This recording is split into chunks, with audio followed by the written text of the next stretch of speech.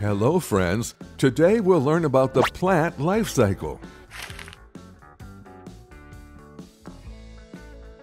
Wow, you're playing here in the park. So many beautiful plants are here. All living things, including plants, have a specific life cycle that keeps their species alive. A life cycle is defined as the developmental stages that occur during an organism's lifetime. The stages a plant experiences from its birth to its death, and when the cycle repeats, they're described as the life cycle of a plant. Let's learn about the stages of the plant life cycle. Seeds. Seeds contain the embryo of the plant with essential food and an outer coating for protection.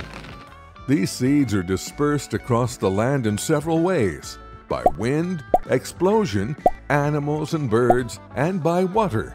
There are the four main modes of seed dispersal. When they fall on the fertile soil with the necessary things, such as oxygen, water, and correct temperature, they germinate and start their life's journey. Germination and seedling.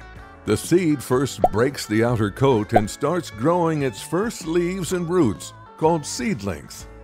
When the leaves and roots develop, they start to function. The roots start their role of absorbing water and nutrients, while the leaves continue photosynthesis for food production. Growing to maturity. In this stage, the plants become mature, their roots become stronger, and branches and leaves also increase. During this time, plants are ready to make flowers and new seeds.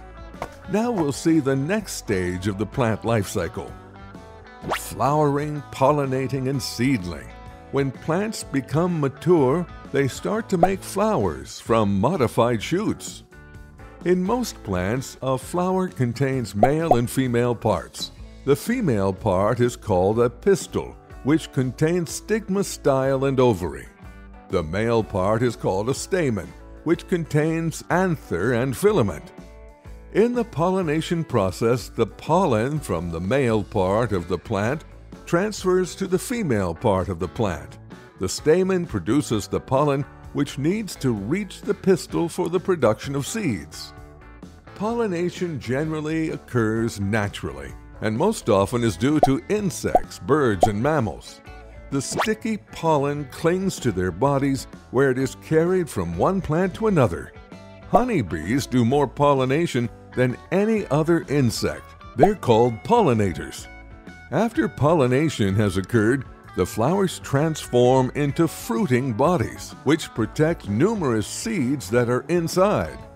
Seed dispersion. After the production of seeds, the plants need a way to disperse these seeds to favorable places where they can germinate and restart their life cycle.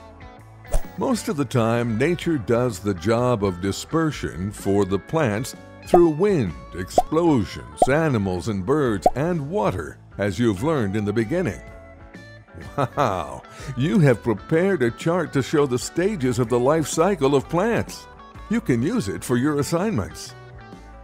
It's always a good initiative to plant more and more trees. Trees play a very vital role of maintaining the balance of our ecosystem. Now you know a lot about the topics. Stay tuned for more videos. Bye bye.